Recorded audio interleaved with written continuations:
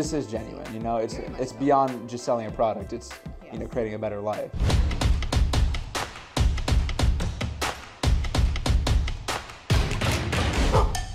Zach, Yes. you're a professional dog trainer. What do you What do you do every day? Wake up, come to work, obviously. You know. Oh, wow. Eight. Nine, I, I'm. I'm 20 minutes away, so just that's the start of my day. You know, work, work my dogs, pee poop, potty, potty walks and then train them.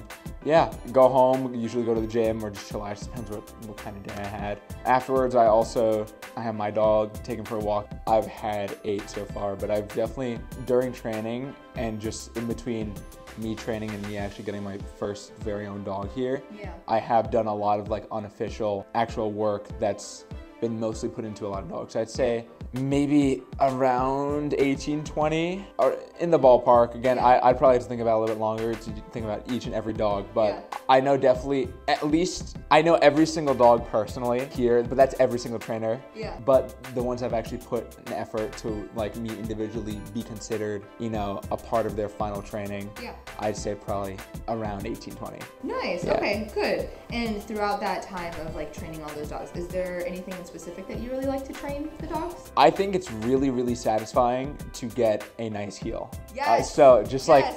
After, especially the dogs that come here. Rarely has anyone said. Me personally, because especially when you see them come in, majority of them do not have heel down. Yeah. And majority of them are either on the harness, on the easy walk harness, Yeah. and they're pulling, pulling, pulling. I think it's so satisfying when you finally don't need that fooler anymore. You just Yeah. say heel, and they're right there. You can Yeah. turn on heel. I think that's my favorite part. Is there anything that you don't like to train? It's not so much as don't like it. I don't like the process sometimes Yeah.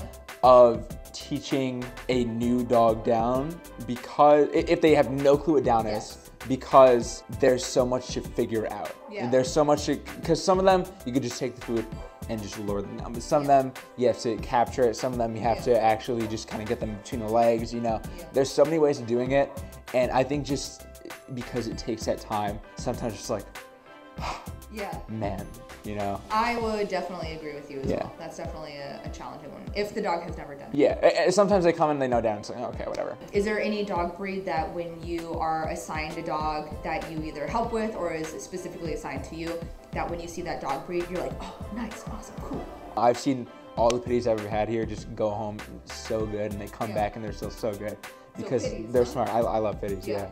Okay, yeah, I was about to say, but your own dog isn't a pittie, but maybe he's No. mixed. No, but also I grew up with him, love Yeah. him to death. But also, especially when I started working with other dogs, Yeah. I'm like, there's so many because he doesn't have any real like kind of breed traits besides Yeah. like kind of the child laziness. He's so much in one. Yeah. He's like his own unique thing. Yeah. Um, but then when I started working with dogs, I'm like, oh, I love the energy of pitties. I love the friendliness of like labs, golden retrievers. Yeah. There's so many different things. Very Um, breed specific traits. Exactly, exactly. And that's me personally. I just find the pitties that come here, I find them so smart, and I find Yeah. them that there's so so much potential for them. Yeah. I, I just love working with them, and I love seeing how they go Nice. home. Yeah. I'm sure they'll make a lot of people happy saying Yeah. like, oh, I oh, Zach is my trainer. okay, so are there any dog breeds that you don't find as much joy working with them?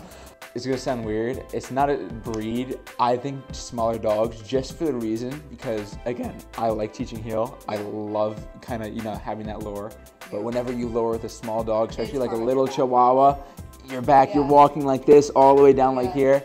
A little annoying. Yeah. But specific breeds, I really haven't encountered like any specific breed where we get them like, man, you know. I think it's just maybe the generalization generalization of just the small dogs and Small dog. how we yeah. gonna teach them because I gotta bend on all the way every Yeah. time. Yeah. Mm, I uh, get it. So switching from the dog training to now like the owner training. Mm-hmm. So a lot of times when people think of like a dog trainer, they obviously think about dogs, like Mm-hmm. the actual training of the dogs. They're like, oh my gosh, should have so much fun. You just put puppies all over, blah, blah.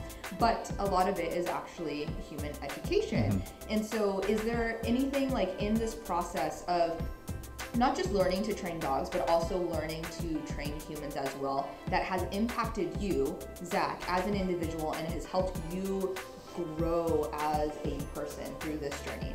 Do you feel like you've changed at all or not? Loaded question.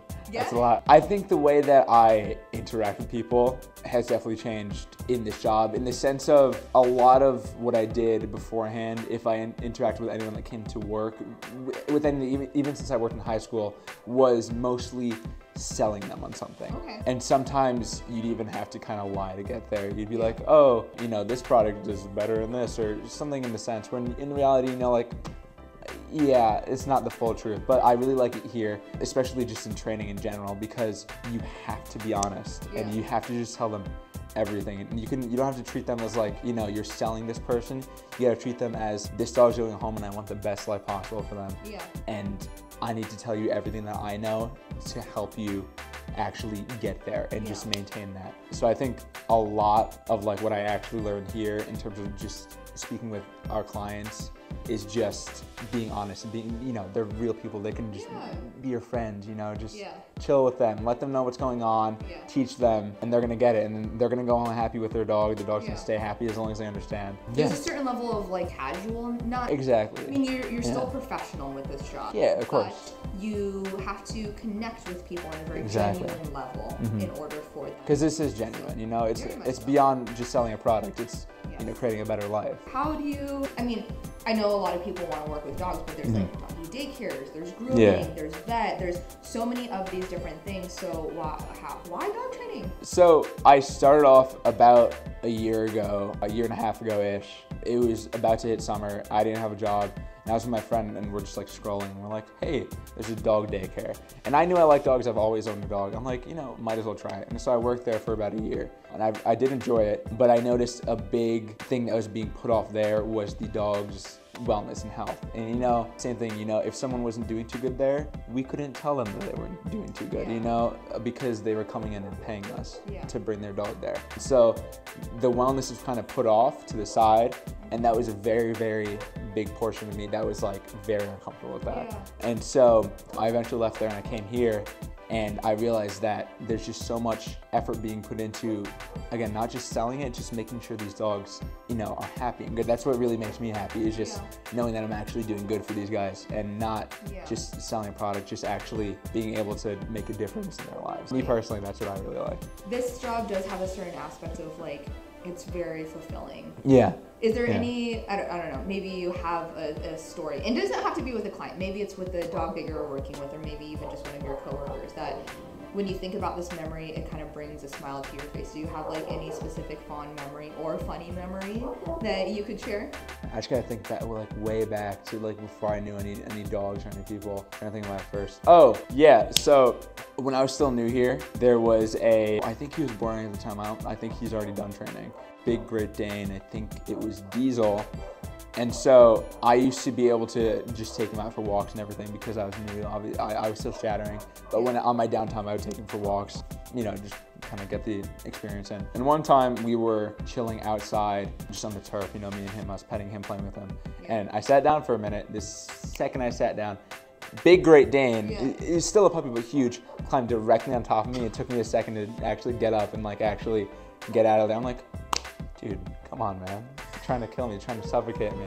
Do you have a favorite quote or saying that comes to mind that you could share? When you're not feeling the best, your brain is chem- chemically engineered to make you what, like release like I forgot what the chemical's called, like dopamine, something like that. Yeah. When you smile, and so now because of that, smiling is kind of like my go-to thing, especially in negative situations, which kind which kind of sucks. Like if I'm like stressed out or like kind of like someone chewing into me, I'm sitting there like, and they're like, "What are you laughing at?" I'm like. Yeah. It's not me. It's because of that one thing that I heard on the radio a couple Yeah. years ago. I obviously don't say that, but I'm like, in my head, I'm like, I know Yeah. it's that one thing that I heard because I remember I started right then and there, Yeah. and it works. It's really cool because even sometimes if I'm just not feeling good, I just sit there and I smile, and I'm like, oh, It's the whole premise behind the fake it. And it works.